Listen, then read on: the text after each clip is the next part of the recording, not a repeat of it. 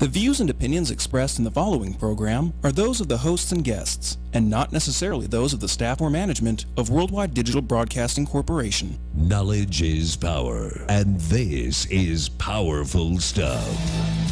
Wellness Education Cannabis Advocates of Nevada present the We Can 702 Nevada Cannabis News Hour with the We Can radio team.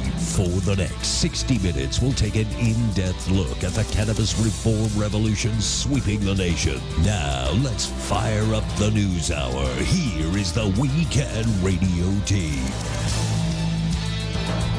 Good afternoon and welcome to the WeCan 702 Nevada Cannabis News Hour. I am your host, Michael McAuliffe, and with me is my co-host, Perry Heitschu, and we're here for a, for another week of discussion on um, on issues local and national about uh, the cannabis movement and uh, things uh, related. So. Um, I'd like to start off today with with something that we uh, we briefly mentioned in our, our show last week, but didn't really have time to cover, and that was um, a, a panel that occurred here in Clark County uh, a couple of weeks back, uh, talking about. Uh, you know whether question two is a good thing or not a good thing for the citizens of Nevada, and um, uh, I, I find it difficult in the state. I don't see any really balanced discussions. Either you've got groups like us or or, or similar who are saying, you know, of course, cannabis uh, legalization is, is, a is a good thing because you're taking away all these harms. It's a really polarizing issue. It's Yeah. hard to find middle ground on things like this. You know, you're kind of for us or you're against us kind of camp Yeah, attitude at this point. It's really true. strange how it's kind of evolved into that. There used to be a lot of flexibility on the issue and a lot of negotiation going on, but now it's you know, it's crunch time. What we're 50 days out to the election or something like that. So I think you're starting to see a little bit more. Uh, more direct pressure being put on by both camps. I think we're going to start to see the advertising really, really ramp up. I mean, I picked up this issue of Vegas Seven the other day, Mm-hmm. and there's just advertisements for Question Two pro legalization all over the place and all the And local. I see they've got a big pot leaf on the on the cover of it there. Yeah. Yeah, yeah. Pick up your uh, latest pick issue of Vegas seven. Seven and check it out. They have And what interview- what have they got to say? I see it says money, power, and respect. Oh, they're just interviewing various um, industry leaders, Mm-hmm. you know, managers of dispensaries and bud tenders and things like that, trying to get their their gauge of how the industry has developed so far and Mm-hmm. where they think it's going to go. What'll happen if legalization happens? What happened if not? They have a little breakdown of the various terpenes that are most common within uh, within a uh, within the various cannabis strains that we So, most commonly that was the Munchkins in the studio Yeah. there for a moment. that we Um, most commonly see here. But okay, so they're speaking with uh, people who are in the industry. Were were they interviewing uh, people who are patients, or were they interviewing people who are um, No, uh, mostly industry casual folk. users? No, ind- industry folk. Uh, not not necessarily patients or things like that, but like here, here's a whole breakdown of what they had going on, like you know the delta nine, the CBDs, the limonene, the pinene, things like that for people who aren't really, who aren't really uh, familiar with it. There's an interview with one of the lawyers that do a lot of work in the industry, a manager of a dispensary, a, a, a, a master grower, you know, So the, trying to get a it- they've got they've got quite a few pages devoted to this. Yeah, well, it's the whole, it's half the issue to tell you the truth, or most of the issue. and it's free. So get up there and pick out pick up Vegas Seven this week, and, and there's a lot of information that you're going to have uh, because as we are closing in on the election, and as you say, Perry, the, the undecided factor is shrinking. You're for or against us. It's it's important for all of us, all of us who know that um, that legalization, regulation is a common sense solution and taking the control away from the black market. We've got to be educated to get our friends, our neighbors, our family out there on our side of this issue. Uh, we don't want those undecideds being swayed in the other direction uh, because, as somebody said just before we went on, there are, are billboards going up now, and they're they're saying, you know, a picture of uh, of candy and saying, "Oh, can your kids tell the difference?" Well, it, it's up to us to to uh, let people know that it's about responsible parenting and it's about um, uh, responsible use in general you know and and that's true. Whether you're talking about pot whether you're talking about alcohol whether you're talking about firearms responsible use is is the key here Well, I of think. course, there's no personal responsibility or accountability in our society anymore. Everyone's either collectively responsible for everyone's mistakes, or we need to be made that way, or, or, or some variant of that, it seems. And besides that, that whole billboard is complete nonsense because the laws in Nevada state that all of the edibles have to be clearly labeled, packaged in childproof packaging, and there's this whole procedure that was that was uh, negotiated through in in uh, legislature and within the ballot language or with the ballot initiative language. So I don't really understand, you know, how that really holds any water. It's just blatant fear mongering, the same old tactics that the other side has been utilizing successfully for decades, and they're just hoping that uh, that it'll work just one more time. That well, fear mongering does work, as, as sure. Lee Atwater uh, proved in the 1970s. Uh, negative campaigning sways a lot more voters than you know, uh, you know, puppies and and roses and lollipops. Uh, and so uh, the reason that you see so much of that is it is effective. Uh, advertising is all about uh, either sex, you're going to get laid, or scaring people. You got to keep up with the Joneses or, or whatever. And, uh, like you were saying, you you brought up a couple of pictures of this panel that was uh, Mm-hmm. Yeah, I've- I've- discussing the legalization. I, I have I've had time to. To count them, and it looks like there are 60 seats uh, that were in this uh, uh, hearing uh, forum, and uh, it looks maybe half of them were occupied, but a big chunk of them are the blue uniforms of Metro recruits and so it really is a captive audience. And and this um, this panel uh, was led by uh, Earl White, who is a former director of Weed and Seed Program, a, a crime and drug abuse prevention group, and he was one of five speakers there. Um, and he he's adamantly against legalizing marijuana for recreational use, arguing that pot use lessens someone's motivation to study or find work. Um, I- I don't know about that because uh, there are any number of people from Peter Sperling, founder of, of uh, University of Phoenix, to um, uh, the Men's Wearhouse House uh, Yeah, sure, we can- CEO, or we- Harrison we- Ford, Brad Pitt, lots of well-motivated of course, of course. You know, it's I think that's a little agitating, but my counter argument with that uh, to that would be if people who smoke cannabis were allowed to enter the workforce, this wouldn't really be an issue. Mm-hmm. There is, of course, a perception that potheads don't work. I think mainly because we're not allowed to seek work, especially in Las Vegas where hair tests are so prominent. Mm-hmm.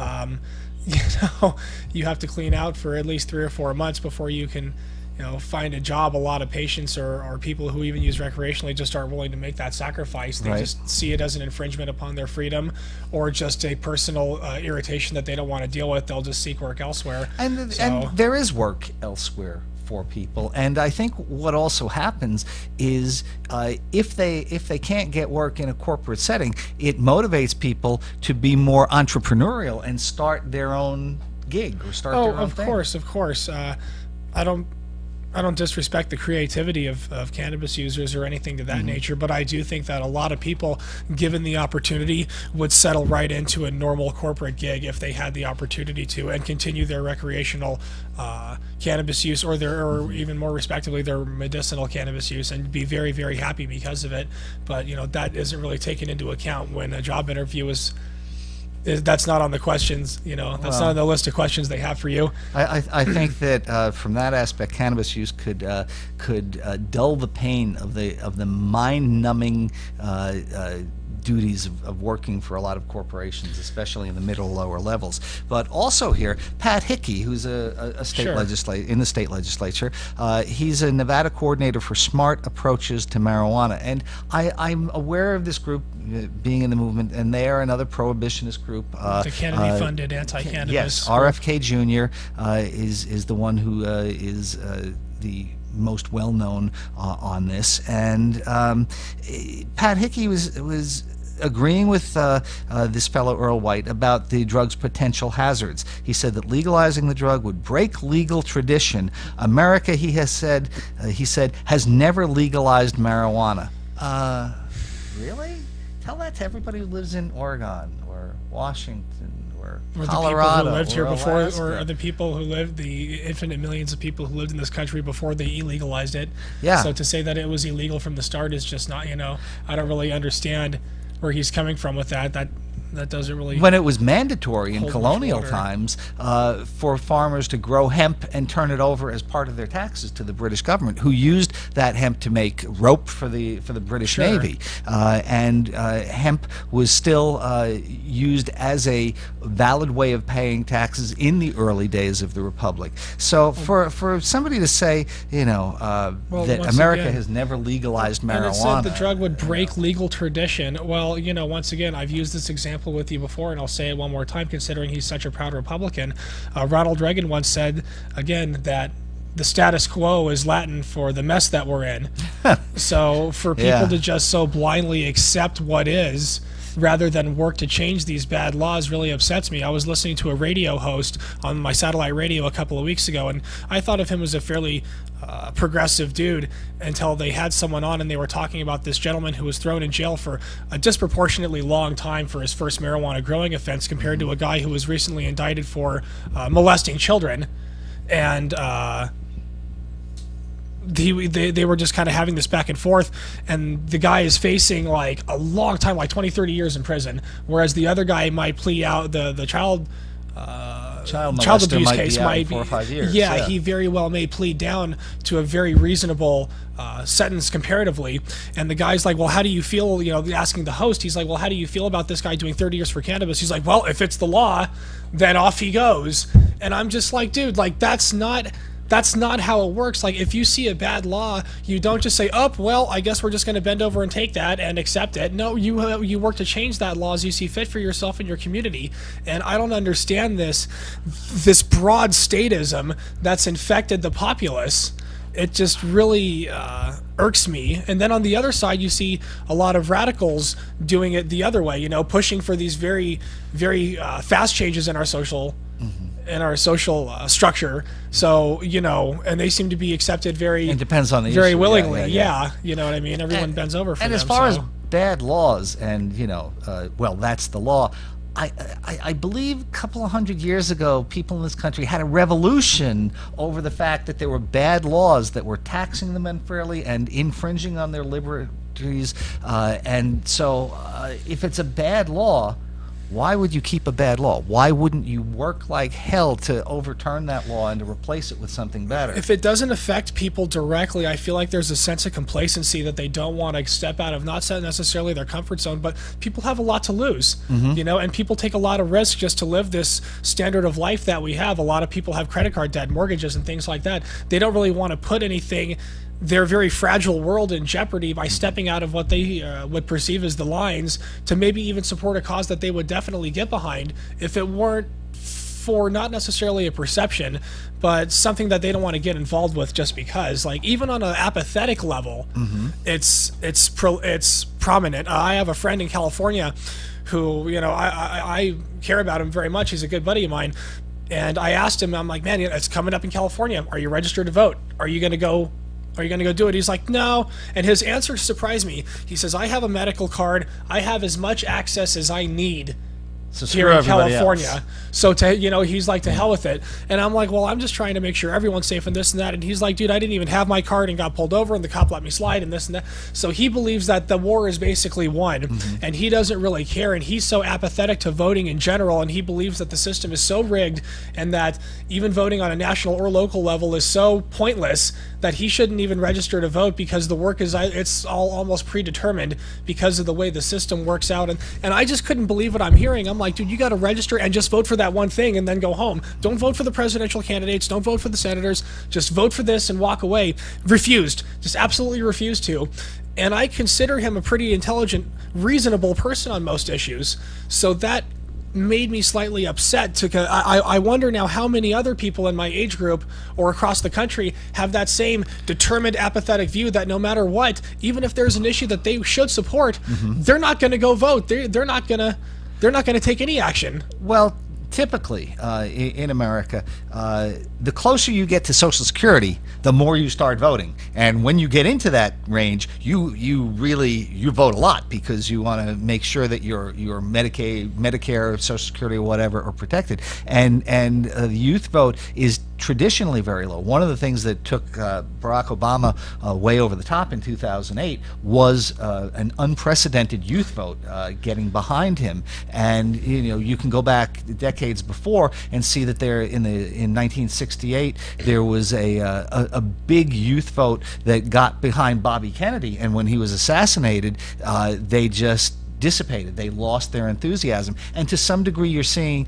the same thing this year with Bernie Sanders, who Yeah. got all these young people really involved in thinking that we can make all this change. And then when um, when Hillary Clinton won the nomination, uh, these people are all saying, "Well, we're we're."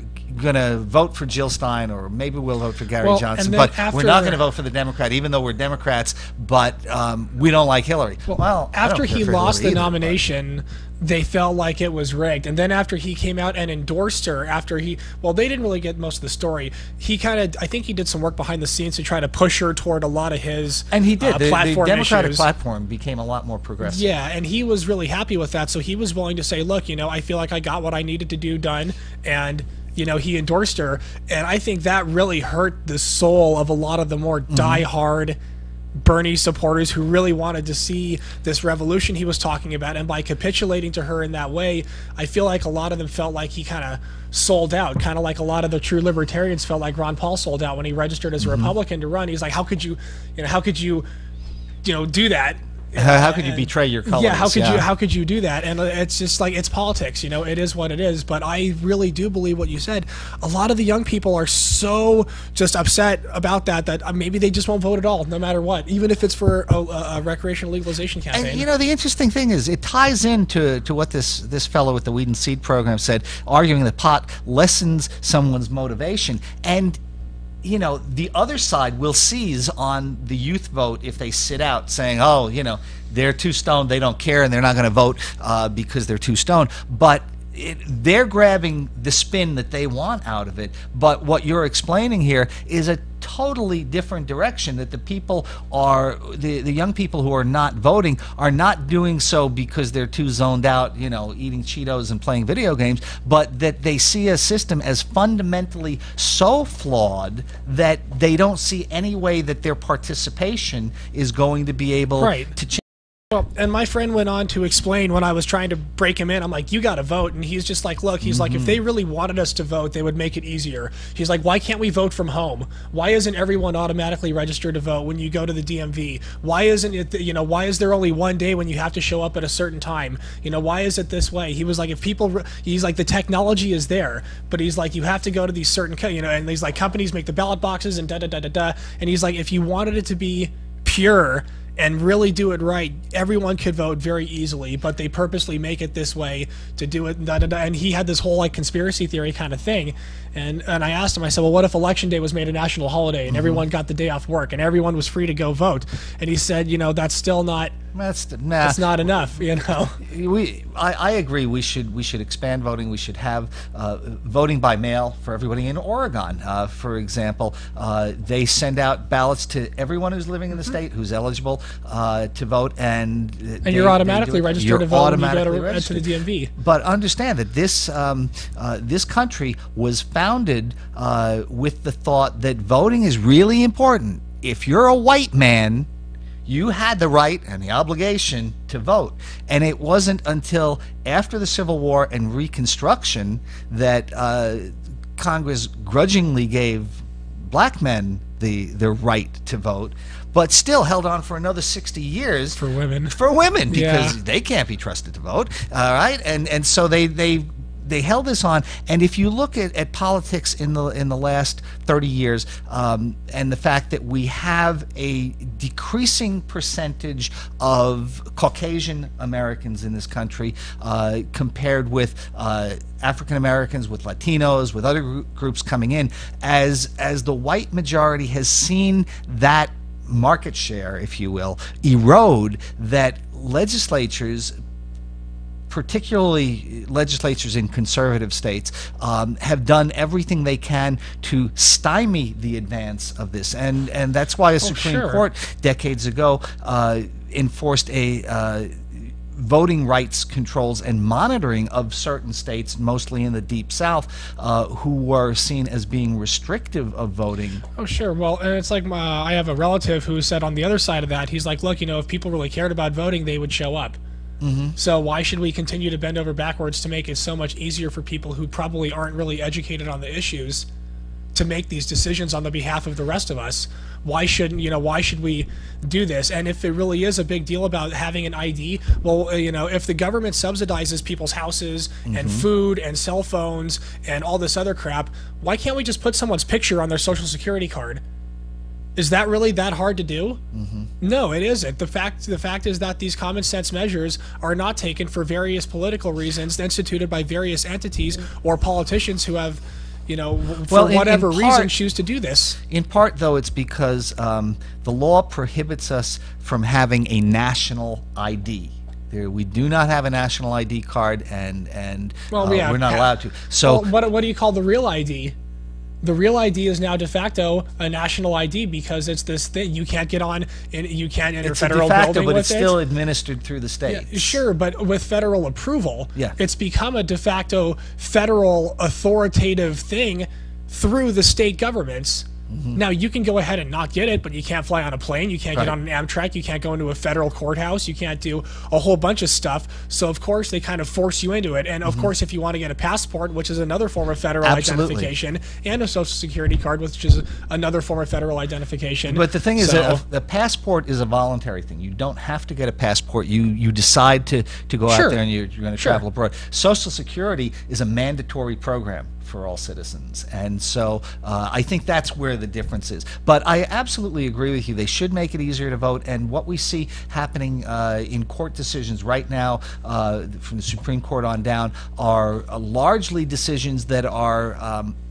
overturning uh, the ability of states to limit and restrict voting. Uh, But all so those limits are usually thing. surrounding identification, like bringing your ID to Mm-hmm. make sure that the right people are voting. So that's why I don't understand when these same, these same, uh, I don't want to call them liberal because usually uh, like liberals aren't very liberal anymore. I like to call them radicals a lot of times because Mm-hmm. that's a lot of the policies they're proje- projecting. But um, when you're when you refuse to check someone's identification to make sure they vote, but then you will turn around and require that person to have ID to collect welfare mm-hmm. or to, you know, apply for a job or even to get a fishing license or, you know, any of these very, very social security or any of these very, very simple things, get a library card, you mm-hmm. know, all of a sudden though it becomes racist when you're asking them So to do that. it sounds like you're arguing for more that. for more restrictive There's- well, because you there's- want to put ID on this. And, I want to just make sure that the right people are voting. I think we should, if people can't afford to get an ID, we should subsidize it. And if they're registered to vote, then you should go ahead and vote. We but, should make it but easier giving to that, register. that but voting, you know, um, you know, voting illegally, you know, voting multiple times, voting if you're not eligible to vote, voting if you're not registered in a certain state and trying to vote there. Those are all felonies, and I, I think very few people will do that. And in fact, study after study has shown that uh, the number of actual voter fraud on an individual level cases are are you know a drop in the bucket, less than less than. Uh, two tenths of or zero point two tenths of a percent. It is So- very small percentage, but true. But Florida was won by George Bush in 2000 by 500 and something votes, which would come out to you know less than that percentage point, which you're speaking Well, of potentially. Florida was won by George Bush by the Attorney General who was working for his brother.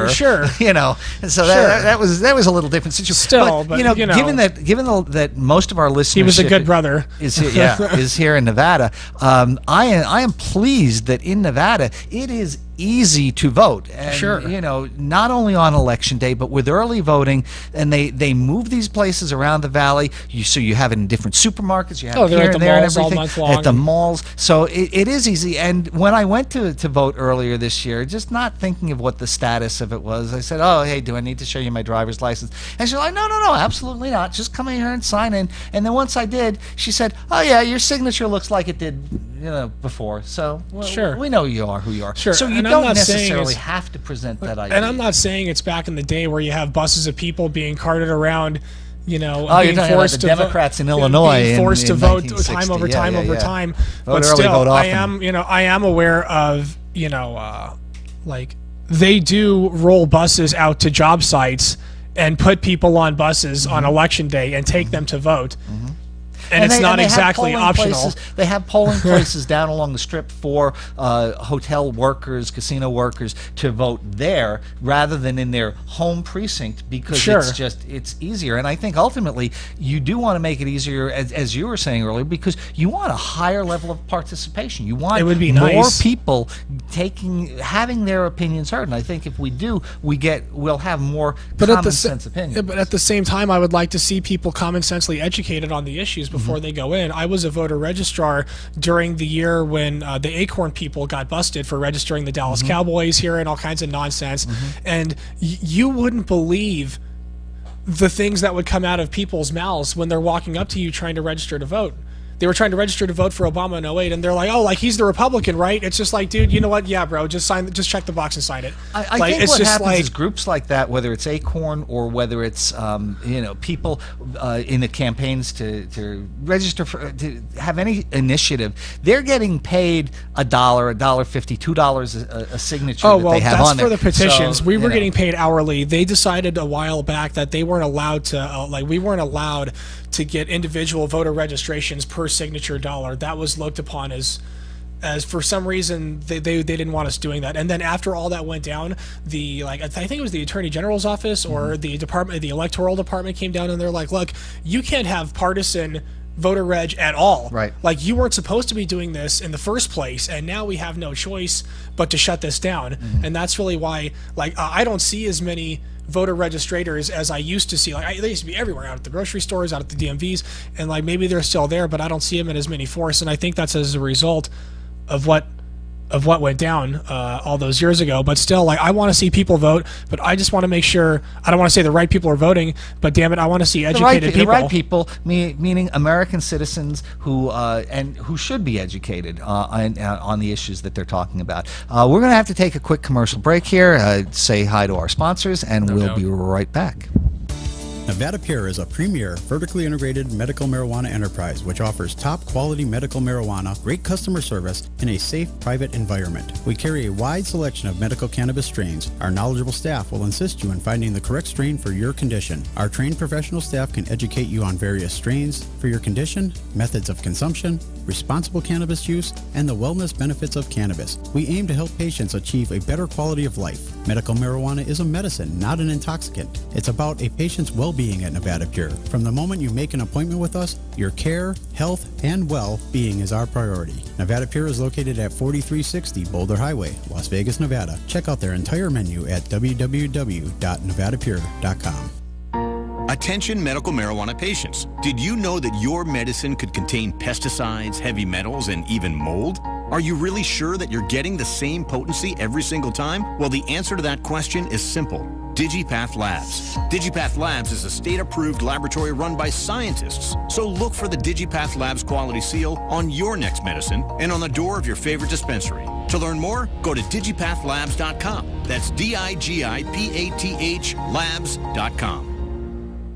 Hi, I'm Armen Yemenidjian, CEO of Essence Dispensaries, and I'd like to let you know a little bit about our company. As a completely complimentary service, our on site nurse is here to meet with any patient or non patient to discuss dosing and best practices. We have three convenient locations. We have one location on Tropicana between Decatur and Jones, which is our west side location. Our Henderson location is on the corner of Sunset and Green Valley Parkway, and we're proud to announce that we have the first and only dispensary on the Las Vegas Strip, on the corner of Las Vegas Boulevard and Sahara. Our prices are the lowest prices in town and the highest quality medicine. Please come and see us at one of our three convenient locations or visit us at essencevegas.com. You can also call us at 702 978 7575. Once again, the number is 702 978 7575. And welcome back to the WeCan 702 Nevada Cannabis News Hour. We're pleased that you could join us today. Um, we've been speaking uh, earlier about uh, voting in the Question 2 initiative, but now I want to uh, go into another thing that, that is a, uh, another subject that is, is really big and all over the place. And, and I heard just before we went on now that the, even the president is addressing this. And what we're talking about is the opioid crisis in America and how that relates to uh, cannabis and, and medical cannabis. And um, I, I've seen uh, there's there's a new study that has come out uh, which says uh, that legalization of medical marijuana may reduce the instances of opioid use in adults under 40 years of age. And uh, this study involves uh, analyzing traffic accidents, and it was published in the uh, American Journal of Public Health. Uh, and we're, we're getting this article from Newsweek. Um, and it's they studied 69,000 drivers from eight, 18 states, and they're finding that uh, after the implementation of medical marijuana law, there appears to be less opioid use, at least among young and middle aged adults. Uh, and this uh, is from a, a, study at Columbia University uh, uh, Mailman School of Public Health. And so uh, this just is the latest study to come on with many of them, which show that cannabis use can help uh, get people off of opioids faster and, and more effectively. And, you know, throughout uh, the time that I have been involved in this issue, I've had numerous people come up to me and tell me how they have used medical cannabis as a, as the gateway out of uh, opioid use. And this is opioid use is becoming more and more of a crisis in this country. Uh, we have the governor uh, uh having Governor Sandoval having a a um, a panel, a forum uh, a couple of weeks back at the uh, the MGM Grand, where he invited all stakeholders in this uh, to uh, to put out their views uh, on this issue, and he's spearheading uh, a, a, program, uh, a bill through the next legislature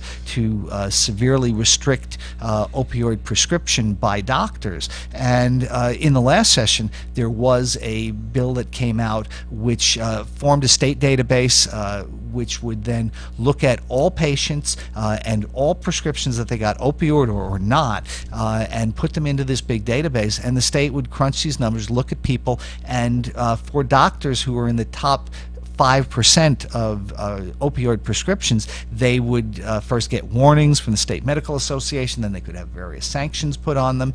And um, as we were talking just before we went on, uh, from a libertarian view, I have an issue with this that people should be able to uh, to treat their pain uh, as they see necessary between them and their doctors without having the state really heavily involved in this. Well, the other side would be we have to do something, and the source is the people prescribing the drug. Supposedly, they kind of see that as the the entry level, not necessarily the one and only, but you know, people who evolve to heroin disproportionately these days, at mm-hmm. least, start with prescription opioid medication. So they figure if they can put the clamps on that there, they can kind of choke the pipeline from starting. And uh, if there are bad doctors out there, they want to find them. But I, I kind of have to, to yield to you in a way also because once again, you know, where, where do you really draw that line? It's really, really difficult to draw that line between pain management between patients who really truly need the help mm-hmm. and trying to trying to restrict uh, trying to restrict the flow of these illegal drugs onto the street.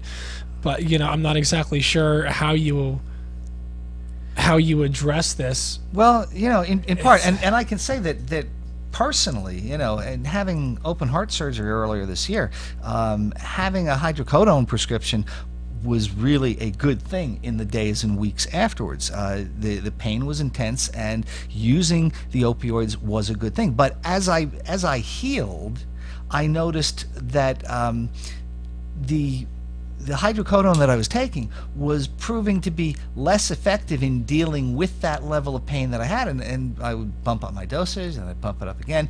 And after several months of this, I said, no, I, have got to stop this because I don't want to become dependent. Mm-hmm. And so uh, I can, I agree with the idea that uh, it's great for acute use. Um, chronic use, uh, personally, I'm seeing that it was less effective. But I, I've got to pivot and disagree with what you said that you know bad doctors and this is what the state needs to focus on them because I think doctors by and large yeah you'll have a few bad apples in every barrel no matter where what industry that you're looking in but I think that the doctors are working with the tools that they were given and prior to the 1990s uh,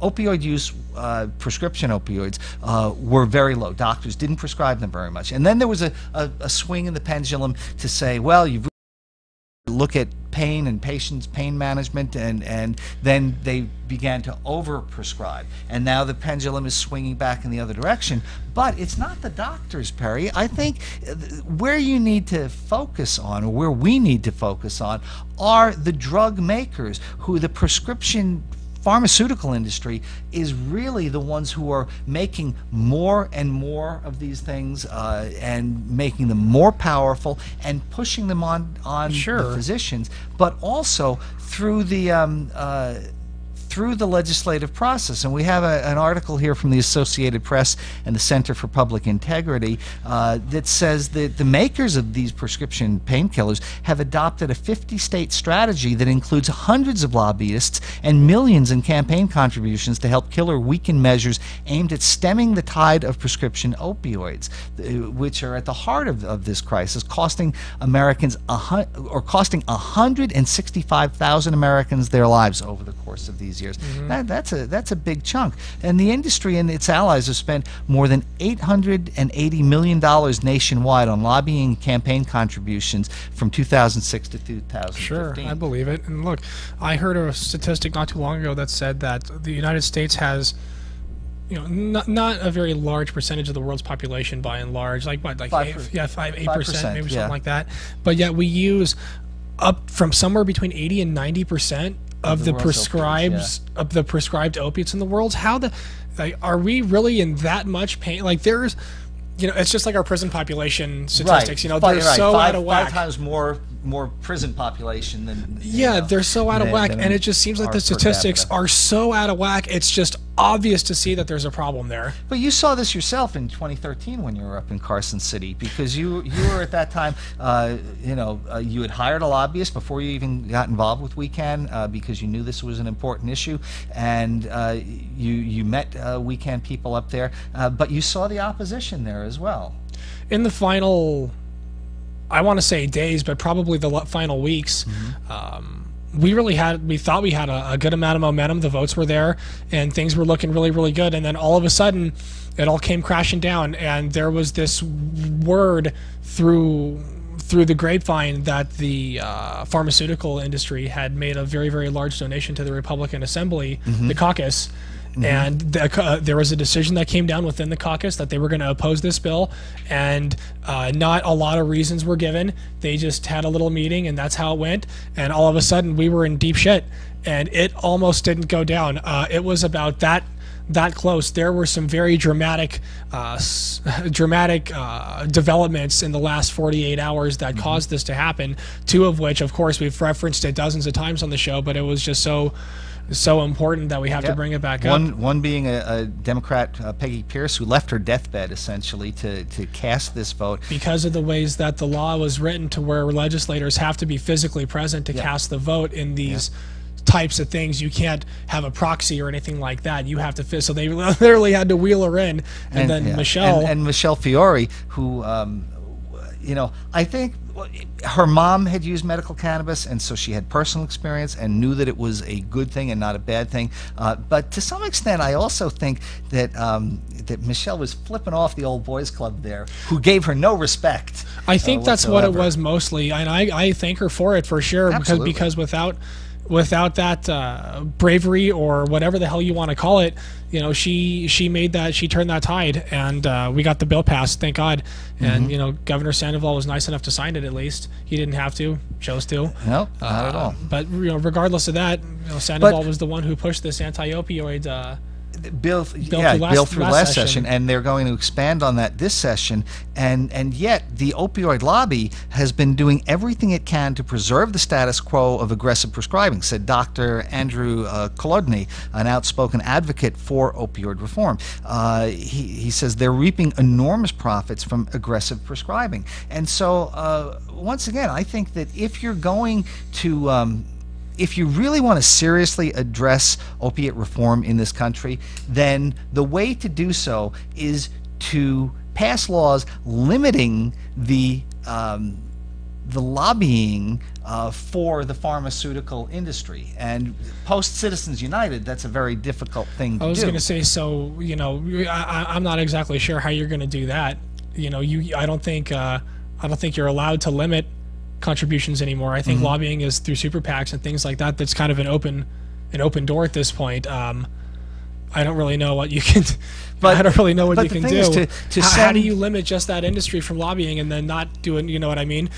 Where do you close that door if you limit the limit this industry? Is the medical cannabis industry going to be perceived as a prescription as the you know the medical industry once it gets decriminalized, and Well- will we ourselves be prohibited by the language that we propose? friend of the show, Dr. Ivan Goldsmith, um, has said to me exactly that uh, in the past month or so. That if they, if the governor is able to get this bill through the legislature in the next session and limits this, that they're then going to come back and really clamp down on medical cannabis. Now, personally, I don't see how they can do it that much. I think the horse is out of the barn on that one. But I guess you could argue that it was the same thing with opioids that that they, they were widely available and now they're being restricted. So um, Dr. Goldsmith feels that um, this is just the first step in a uh, in a an agenda to shut down. Uh, Oh, he's believed that for a number of years. I talked to him a while ago, and he's believed since the first day I met him that there's not there's uh, like you said a pre-existing agenda Mm-hmm. on their idea to kind of to kind of break this down over time. But you know we'll see if it comes true. I hope he's I hope he's wrong. Uh, I, I do too. But you know, the the more that I read on this, and, and I've got you know article after article that, that I look at, uh, I, I just get pointed towards uh, big pharma here. And here's a, a, another article by Philip Smith out of, of Alternet, and in it he says that uh, fentanyl, for example, is a synthetic opioid several dozen times more potent than heroin, and it's been linked to numeroid opioid overdoses, uh, overdose deaths in the country. And fentanyl is, of course, uh, the the medication, uh, the drug that was in Prince's body when they found him, uh, Oh, you know, okay. a couple of months back. But the thing was that it was not prescription fentanyl, and uh, the, and on checking, the authorities found that Prince did not have a medical prescription for anything in the prior 12 months. This was actually um, a bootleg product. It was the pills were actually stamped and manufactured to look like hydrocodone, but it was actually fentanyl making up the substance, which is 50 times more powerful. So if you take something, you know, you pop a hydrocodone or two or three, you know, you're going to be off in la la land. And to take something that's 50 times more potent than that, you can see where somebody could really go over the edge, as he did, and you, you have a fatal overdose. And so part of this problem that we're having and, and this, this opioid opi- ep- epidemic is part of it is because the, the drug makers are pushing more and more and more stuff on us, but also part of it is that there is this black market out there that's creating these these drugs of lesser lesser quality but higher, Higher purity, potency- higher higher, potency, potency. yeah, uh, that are, that are going out. And so I, I think to go after the doctors in this situation, who are uh, the vast majority of them, I believe, working in the best interest of their patients and trying to be sensitive to the, the needs of these patients, um, I think going after the doctors largely is the wrong target. so what do we? Well, but Western medicine also works. You know, big pharma isn't all bad. They make you know drugs that do you know do wonderful wonderful things. So uh, how do we make that balance between pain management? And lack of, you know, there's this big balance to do between, you know, the strength of the drugs versus access versus management and things like that. I heard a, I was watching a television show once, and a police officer was talking about this, and he said, uh, a politician will never stick it. You know, he comes into office, and all of a sudden he knows how to do police work. You know, Yes. he's like they never tell. You know, they'll never walk into a school and tell them how to do their business or this and that. But some, for some reason, those politicians always feel like they can stick their nose in that. And now we're seeing this also. We have people that get elected who are all of a sudden medical professionals. All also, they have this deep understanding of how drugs are made and the interactions that it has with patients, and and you know, we really have no education on the on the subject. So how do we? How are you going to walk into a big pharmaceutical company full of you know board of directors full of doctors and things like that and tell them well this is how it's going to be they're going to tell you to kick rocks Yeah, yeah, yeah. you know they're going to you don't know what the hell you're talking about because you don't have md on the end of your name and even if you did You know, it's just like like I said, I don't really know how to how, how to make this balance work between and, all the parties. And your point is valid about people getting, uh, you know, medical degrees bestowed on them by virtue of election or job choice. Uh, uh, because in the last session, I was testifying uh, against the uh, the opiate bill that was uh, before us, and um, I saw that there were doctors who came up to testify at this thing, at this hearing, uh, who were trained, who knew what they were doing, had practical experience, and they were all saying, "No, this is a bad bill. Don't do this. Don't do this. Don't do this." But then, uh, then uh, testifying on the other side, there were a couple of judges, uh, there were a couple of uh, law enforcement officers saying, "Oh no, we can't let that. We have to pass this law because it's so dangerous and this and that."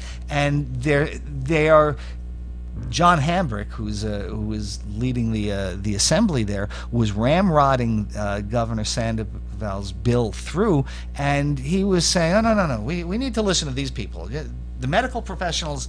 No, not so much. We don't have to worry about them. It's the law enforcement people, the people working in, in the legal system in general. Those are the ones we have to listen to. And, uh, you know, I, I agree with you that it, it's a, a conundrum for us because you're you're taking people who are experts and it just casting their opinions aside. And I don't want to act like you know. Let's just say we introduce marijuana as a legal medical option.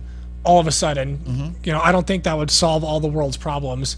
You know, I don't think we're gonna, uh, you know, magically do this because you're still gonna have addicts. You're still gonna have people that are gonna get into this, and you're still gonna have this problem. But it doesn't mean that we shouldn't try to solve these problems. Oh, absolutely. By doing other things rather than just creating more laws. Well, we're always in quest of a more perfect union. There's no doubt about that. But uh, it, it's how do we get there? And you know, you're saying, you know, how do we figure this out? And that is indeed these days the 64 billion dollar question, because uh, big pharma, uh, if if you're um, if you have cancer, if you have MS or AIDS or anything like that, uh, and you need these drugs to stay alive, by all means, Big Pharma is your hero. It angers me that they don't work in, with the industry more rather than just trying to squash us. I said it a long time ago. If they were so interested, they should buy into the industry and develop these drugs, and rather than just trying to shut us down or just take control of it through but legislation. If, yeah, but at the um, same time, Big Pharma, you know, is touting the development of pharmaceutical cannabinoids. So yeah. what they're doing is they're trying. They, there's that meme that's been out there for years that um, that smoked medicine is not medicine. You can't possibly do that. And they, totally ignoring the edibles and the infused products mm-hmm. and and uh, oils and, and stuff. Uh, so so you know they go ahead and they develop these pharmaceutical cannabinoids, but all of a sudden, the same company, this fentanyl company, donated what half a million. I think we covered it last week briefly. Half they donated million. half a million dollars in cash to the anti recreational legalization movement in Arizona that's coming up right. this November. And you know, whispers have it that uh, that uh, our friend Adelson has donated some money against the Florida thing again this year. Mm-hmm. And also, you know what? You were uh, there were rumors flying around that say that he's. I, I just heard before we went on just before we went on air that um, that uh, Adelson's people have now filmed and cut the uh, the commercials for the no on question two, and they're going to start hitting the airways. We'll see what happens. Uh, we're going to have to take another commercial break before we wrap it up, and we'll be right back. From the soothing sounds of a water wall to the warmth, wood interior, and beautiful artwork, as soon as you enter Sahara Wellness, you are welcomed into a relaxing space where we strive to provide our patients with a healthy balance of mind, body, and spirit. That balance is achieved through a compassionate and knowledgeable staff who possesses both a passion for the medical cannabis industry as well as unrivaled dedication to assisting those in need of a natural method of pain relief. Our bud tenders are available to assist patients in selecting cannabis-based medicine that best suits their needs from our selection of flower, waxes, CBD lotions, and delicious edibles. Sahara Wellness is located at 420 East Sahara Avenue, Las Vegas, Nevada. Check out our entire menu at www.420sahara.com. Attention medical marijuana patients. Do you know what your cannabis actually contains? Are there heavy metals, pesticides, or even mold? And what strength is it really? And is it really what you need? Well, the answers to these questions are simple. DigiPath Labs. DigiPath Labs is a Nevada state approved medical marijuana testing facility whose scientists carefully test products for safety and potency, all within the state's rigorous mandate. You can buy with confidence and trust knowing DigiPath Labs has tested your medicine. If you're a licensed grower, dispenser, extractor, or edibles manufacturer in Nevada and want unparalleled customer service and consumer confidence, go to digipathlabs.com and find out what we can do for you. And as a patient, only go to dispensaries that carry the DigiPath Labs seal of approval. That's digipathlabs.com. D I G I P A T H labs.com or call us at 702 209 2429. That's 702 209 2429. And once again, welcome back to the WeCan 702 Nevada Cannabis News Hour, uh, where we're talking about any number of things uh, cannabis related here in the state and beyond.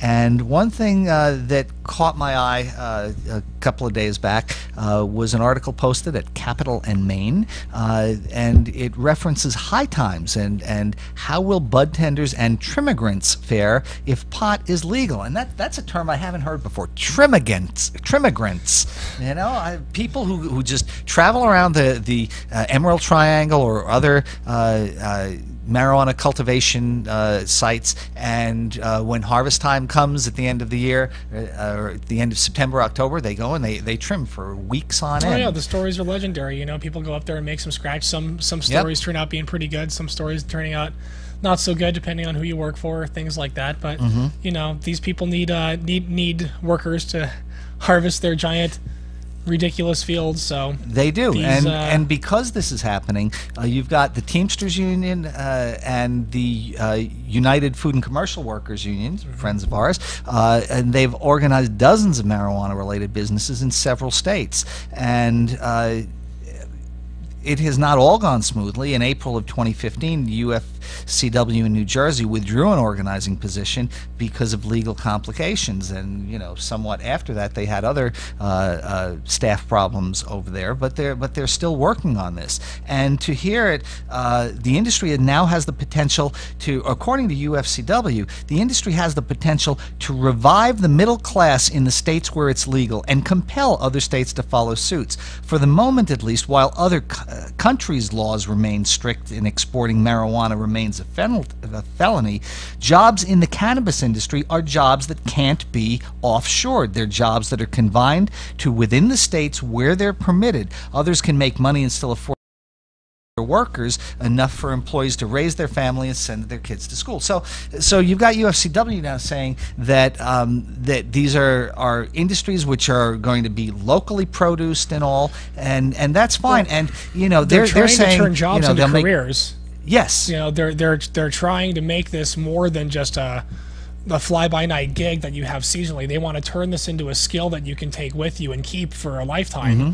You know, what's we'll see we'll see if they can get it done. And and the thing is that right now, uh, uh, trimmers uh, are able to earn uh, in these areas up to um, uh, two hundred dollars a day or so, and and, uh, And you there get was to a, you get to sleep on site and all that kind yeah, of stuff. yeah, you know, and uh, the one writer, Saoirse O'Higgins of the Matador Network, uh, said that she uh, made.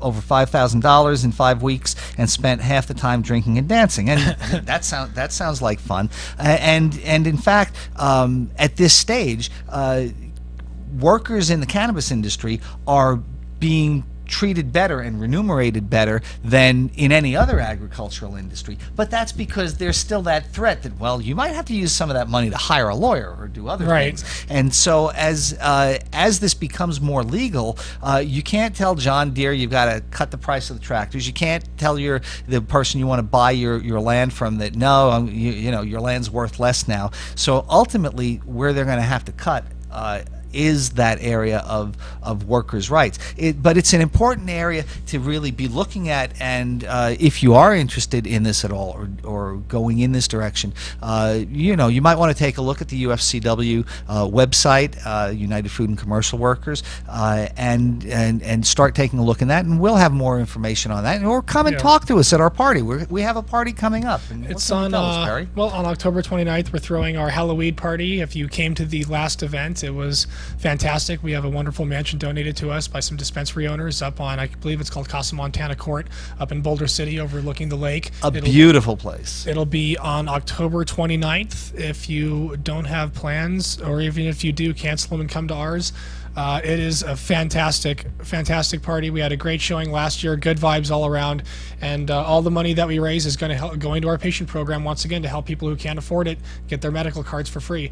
So come support the cause, meet some like-minded people, and uh, it'll be a good time all around. It's a terrific party, no doubt about it. And uh, you know, as Perry said, if you have other plans, it, it's worth canceling for this. This is this is one of the mellowest, best parties you're gonna. We have a great raffle. We have fantastic prizes. We'll have a costume contest.